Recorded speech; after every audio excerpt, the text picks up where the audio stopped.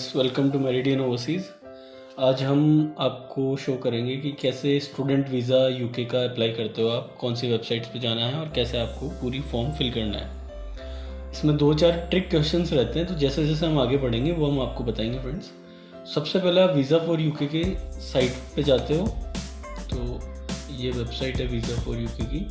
इसके अंदर आप अपना अकाउंट रजिस्टर करते हो सबसे पहले।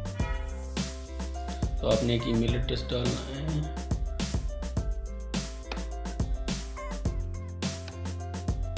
सो so, पहले से आपका रजिस्ट्रेशन नहीं है so will register for new account अब जब आप रजिस्टर करते हो तो उसमें कुछ डिटेल्स आपसे वो लेगा जैसे कि आपका लास्ट नेम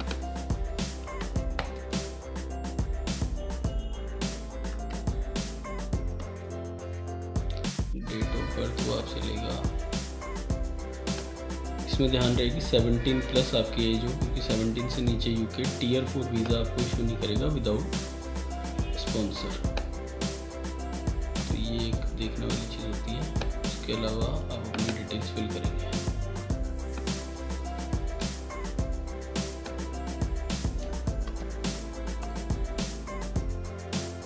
ये हेल्प लैंग्वेज हमेशा इंग्लिश ही ट्राई करें कि आप डालें ताकि आपका इमिग्रेशन क्लियरेंस जो है इजीली हो पाए।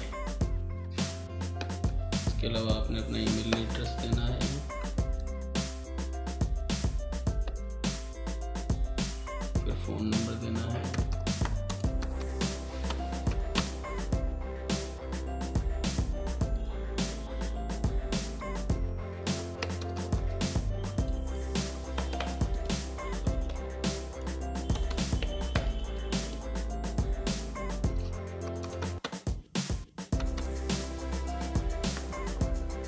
फिर आपने एक पासवर्ड अपना डालना है जो आपको याद रखना है।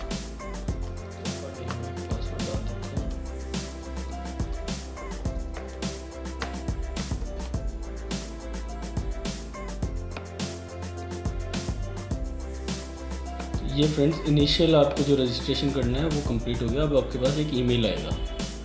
वहाँ से जाके आपने एक्टिवेट करना है तो हम ईमेल का वेट करते हैं पहले।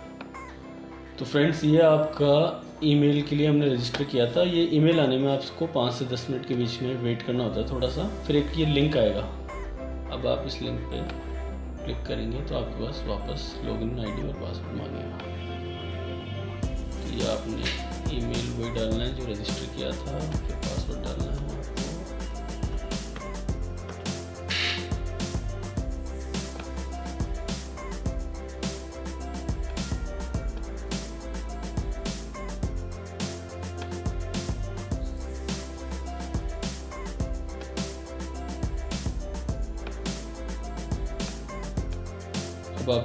ऑप्शन है कि आप खुद के लिए अप्लाई करना चाहते हैं, किसी और के लिए तो apply for my self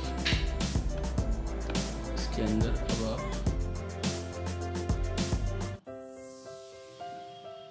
continue कर दीजिए इसको। ये आपसे सेम डिटेल्स वापस मांग रहा है। इसमें सिर्फ़ आपके पासपोर्ट नंबर दोबारा मांग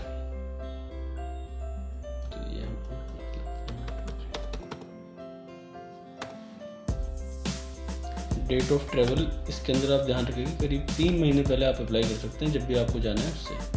तो हम इसमें मे डाल देते हैं कि मे में हमें जाना है। और उसके बाद में वीज़ा इशूइंग ऑफ़िस जो भी आपके नियरेस्ट हो, वो डाल सकते हैं आपका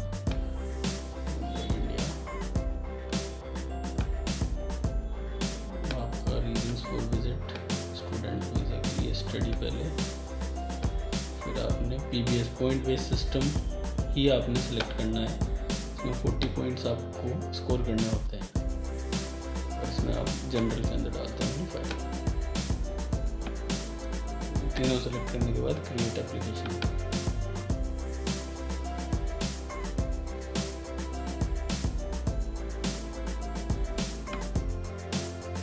अब इसके बाद में फ्रेंड्स आपको सबसे पहले गो टू एप्लीकेशन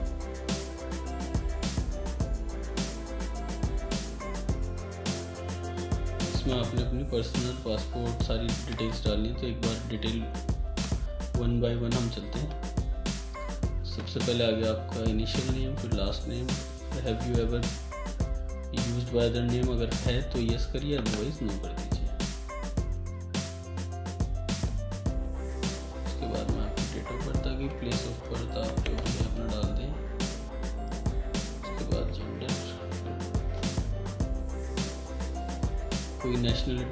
आपकी अदर रही है जो कि मोस्टली नहीं रहती। बट अगर है तो आप वो डाल सकते हैं। Passport place of issue issuing authority में इसमें आपको हमेशा रिपब्लिक ऑफ़ इंडिया ही डालना है। अगर आप इंडिया से पासपोर्ट आपने बनवाया तो। उसके बाद डेट ऑफ़ इशू पासपोर्ट या आपने आपका जब भी पासपोर्ट बना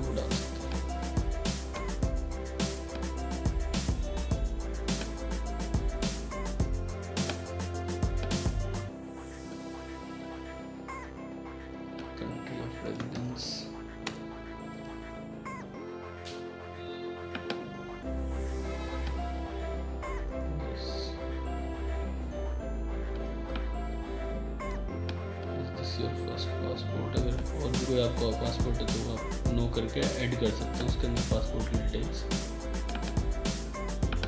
उसके बाद में आपकी ट्रैवल इंफॉर्मेशन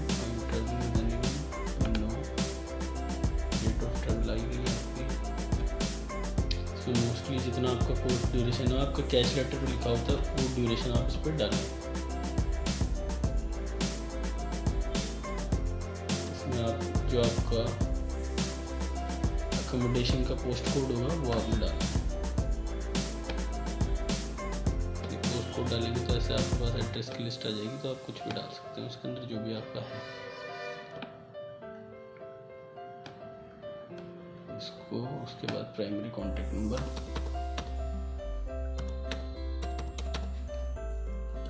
इसकी ज़रूरत नहीं और इसको सेव कर दें।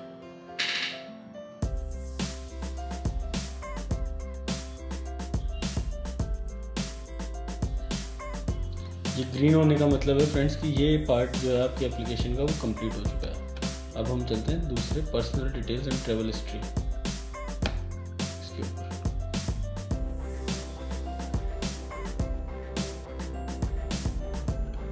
इसके अंदर अगेन आपने अपनी पर्सनल डिटेल्स देनी है, जो कि ऑलरेडी आपने पहले प्रोवाइड कर रखी थी, वो सारी चीज़ें आ गई हैं।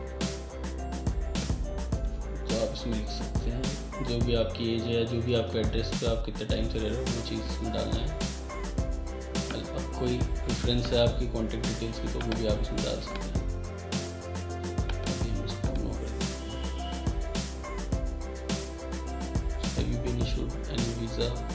अगर है तो आप उसको यूज़ करके इसमें डिटेल्स डाल दीजिए। नहीं तो फिर नो कर have you ever travelled in UK no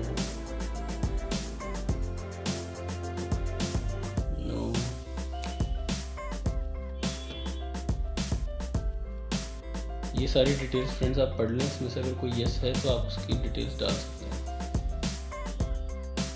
You been deported no have you ever voluntarily elected to depart the UK no are you और have you been subject to exclusion order basically ये सारे questions आपको वो देखने के लिए हैं कि आपने कोई कभी आपको डिपोर्ट करा गया है या आपने कुछ क्रिमिनल ऑफेंस करा है तो मेनली इनमें नो ही रहता है। बट अगर आपने कुछ किया है तो आप ये कर सकते हैं।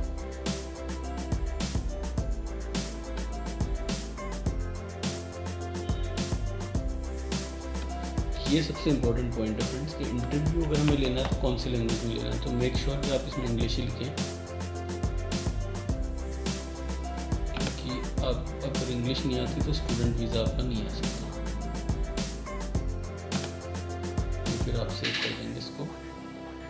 कोई खास क्वेश्चन नहीं था यस नो ही था। कोई क्रिमिनल ऑफेंस वगैरह के बारे में आपसे पूछा गया था।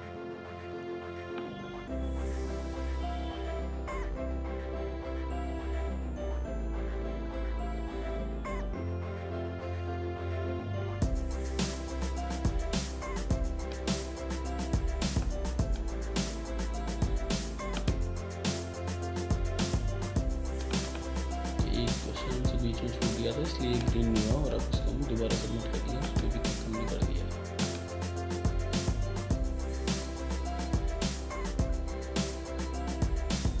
ये दो सेक्शन हमारे कंप्लीट हो गए। ऐसे ही फ्रेंड्स तीसरा सेक्शन में हम चलेंगे।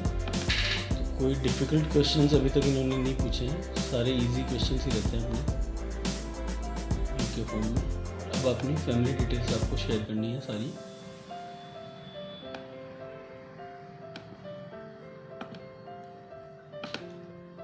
फैलाया फादर का नाम और उनकी डेट ऑफ़ बर्थ।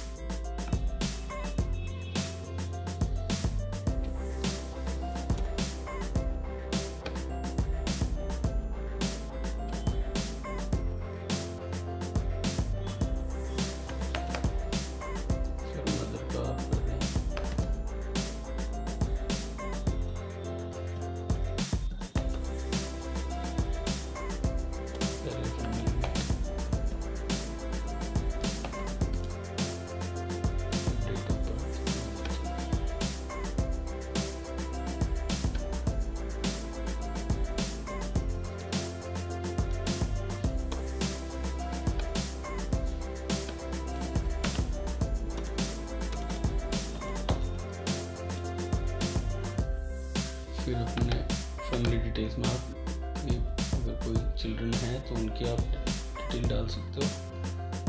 अदरवाइज़ आप इसको नो कर सकते हैं। वापस से इसको सेव करेंगे हम। और अगर ये ग्रीन हो जाता है तो that means this is complete ये हो गया है तो ये सेक्शन भी हमारा कंप्लीट हो गया। अगला हम चलते हैं मेडिकल ट्रीटमेंट के लिए। ये फ्रेंड्स क्वेश्चन इसलिए आपसे पूछा जाता है कि आपने कभी वहाँ ट्रीटमेंट लिया है तो फिर आपको उसकी सारी डिटेल देनी होती है। अदरवाइज़ आपको अब हेल्थ इंश्योरेंस लेना होगा, बस। और अगर हम मेनली नो करते हैं इसमें और इसको सेव कर देते हैं। क्योंकि यूके में आपको एनएचएस फ्री रहता है, क्योंकि आप इंश्योरेंस आपको लेना कंपलसरी है, वो एंड ऑफ़ दिस जब हम इसको सबमिट करेंगे फॉर्म को, तब उसका पेमेंट हमें करना होगा। फिर टीयर फोर स्टूडेंट डिटेल्स ये आपका जो कैश लेटर और ऑफ़र लेटर है, उसकी सारी डिटेल्स हमें डालनी पड़ेगी। जैसे स्पॉन्सर्ड लाइसेंस नंबर ये आपका एक्चुअली कॉलेज का लाइसेंस नंबर होता है?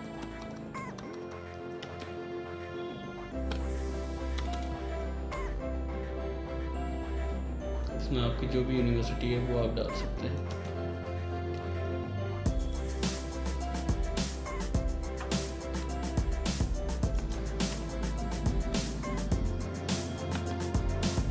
यूनिवर्सिटी का पोस्ट कोड आप डालेंगे, आपको ऑफ़र लेटर पे आपको मिलेगा।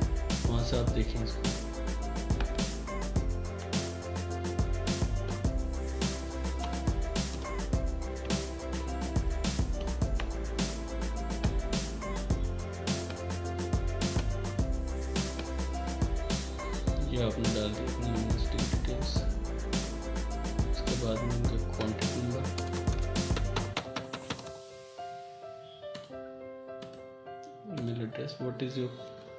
कैश नंबर ये जो आपका कैश लेटर आया यूनिवर्सिटी से फ़ीस पे करने के बाद, उसका आपको नंबर डालना है।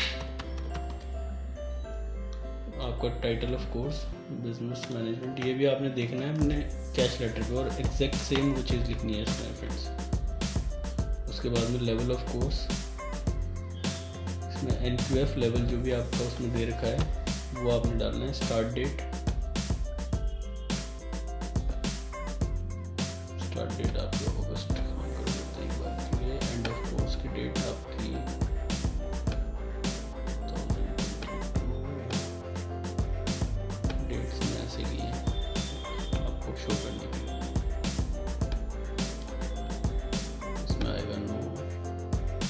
इसमें वापस आपको वही एड्रेस देना है, जहाँ पे आपको यूनिवर्सिटी का मेन जो साइट ये अलग अलग कैंपस होते हैं, जो आपका एक्चुअल साइट है, वो आपको इसमें डालना, उसका पोस्ट कोड जैसे आप बिज़नेस डिपार्टमेंट का जो भी एड्रेस है, वो आपने इसमें डालना होगा।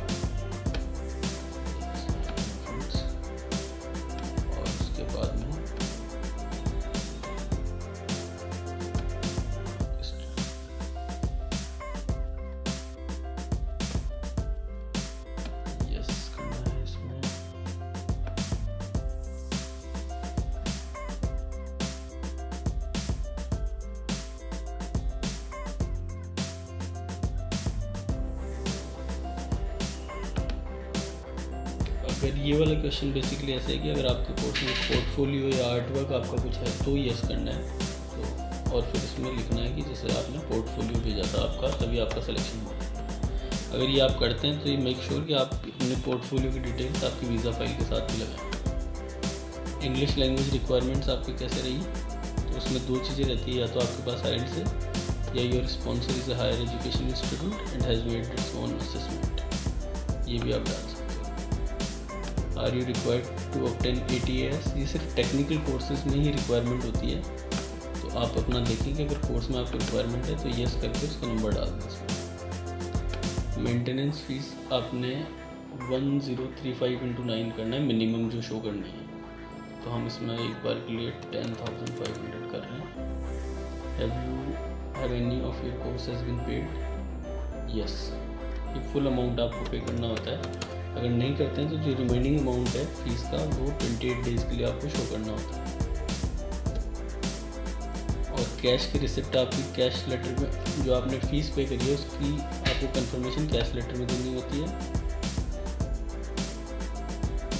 और अगर अकोमोडेशन का आपने पे करा है तो यस करके बता दीजिए अदरवाइज़ नो कर सकते हैं। कंपलसरी नहीं है आपको।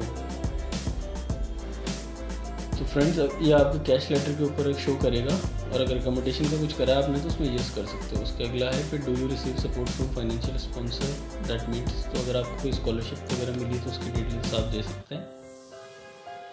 आपकी रिमेनिंग फ़ीस है तो उसकी डिटेल्स आपको देनी है। Do you have money in your own name yes करना है इसको, और आपके नेम भी नहीं है तो फादर मदर की डिटेल इसमें डालनी है।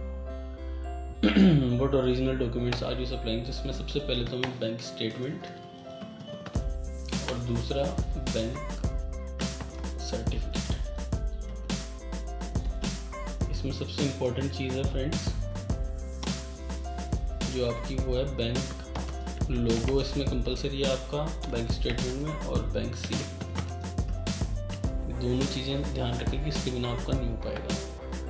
फिर पॉइंट्स क्लेम अब फ्रेंड्स ये सबसे इंपॉर्टेंट क्वेश्चन है, कितने पॉइंट्स किसके हैं? तो इसमें थर्टी पॉइंट्स आपके कैश लेटर के हैं और टेन पॉइंट्स आपके मेंटेनेंस फंड्स के हैं फोर्टी पॉइंट टोटल लगेंगे आपके। तो अगर आप फोर्टी पॉइंट स्कोर करते हो तो आपको वीज़ा कोई प्रॉब्लम नहीं आएगी, वो हो जाएगा। तो ये था पूरा फॉर्म जिसको आपने ऐसे फिल करना है। इसमें ज़्यादा टाइम नहीं लगता मैक्सिमम हाफ़ एन आवर में आप कर देते हो, ये भी ग्रीन हो गया। अब बचा एडिशनल इन्फॉर्मेशन तो आप कुछ अगर अलग से एडिशनल इन्फॉर्मेशन देना चाहते हो तो इस सेक्शन में आप प्रोवाइड कर सकते हो कि क्यों आपको वीज़ा मिलना चाहिए, उसका थोड़ा डिटेल आप दे सकते हो। और नहीं भी देते हो तो ऐसा कोई प्रॉब्लम है नहीं। फिर आप कन्फर्म एप्लीकेशन कर सकते हो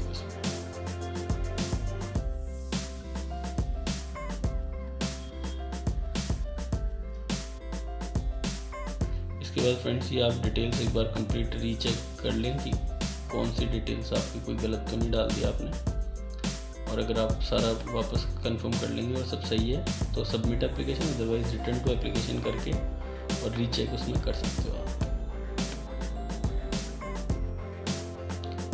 आपका हो गया फॉर्म कंप्लीट अब साइन डिक्लेरेशन आपने करना है। इसमें आपने सिर्फ़ अपना नाम डालना है।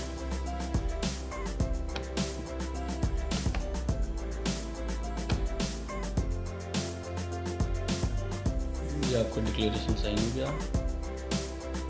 इसके बाद B R P collection location आपने डालनी है। इसका मतलब है कि आपका जो वीज़ा है पासपोर्ट वो एक महीने का आएगा। उसके बाद आपने वहाँ पे आपका वो लेना है बायोमेट्रिक कार्ड तो वो आपको इस एड्रेस पे मिल जाएगा। आप चाहो जो चूज़ कर सकते हो, या तो आपका रेजिडेंशियल या आपका स्पॉन्सर और ये कंफर्म हो गया।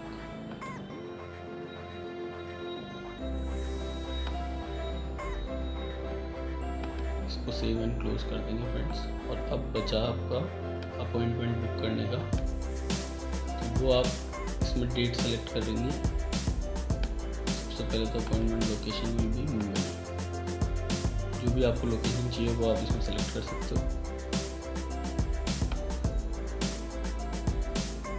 अपॉइंटमेंट टाइप इसमें प्रायोरिटी है सुपर प्रायोरिटी है और P B S tier four student है। सुपर प्रायोरिटी में आपको सेम डे वीज़ा मिलेगा प्रायोरिटी में विद इन फाइव डेज़ मिलेगा और P B S T F four standard appointment आपको लेनी होती है अगर आप कोई भी एडिशनल कॉस्ट नहीं देना चाहते तो। सुपर प्रायोरिटी में आपको एट्टी नाइन थाउज़ेंड लगेंगे एक्स्ट्रा लेकिन सुबह आप फ़ाइल सबमिट करोगे और शाम को वीज़ा मिल जाएगा आपको।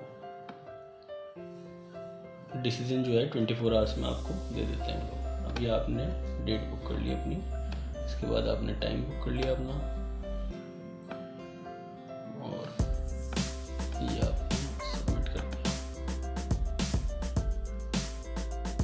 यहाँ तक का काम आपका कंप्लीट हो गया फ्रेंड्स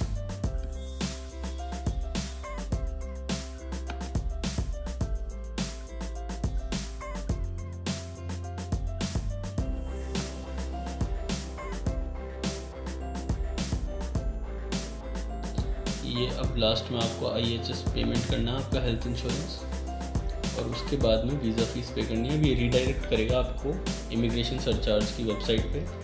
यहाँ पे आके आपको अपना पेमेंट करना है। और इसके बाद में आपको अपना वीज़ा का फ़ीस पेमेंट करनी है और अपॉइंटमेंट शीट आपको एक मिल जाएगी और आपका वीज़ा फॉर्म और अपॉइंटमेंट आप साथ में प्रिंट कर लें और उसके बाद में आपको जो चेकलिस्ट एक बार गो थ्रू कर लें कि कौन कौन से डॉक्यूमेंट्स आपको चाहिए। तो मेनली कैश लेटर है आपका S O P L O R original documents police clearance certificate और आपका फाइनेंशियल फाइनेंशियल को समझने के लिए आप हमारे पुराने वीडियोस चेक कर सकते हैं, जिसके अंदर हमने आपको डिटेल में financial for UK visa show करा है। तो ये थी कंप्लीट प्रोसेस आपकी यूके वीज़ा के लिए। और कोई इन्फॉर्मेशन आपको चाहिए तो आप हमें ईमेल ड्रॉप कर सकते हैं कमेंट छोड़ सकते हैं, और सब्सक्राइब ज़रूर करिए friends thank you so much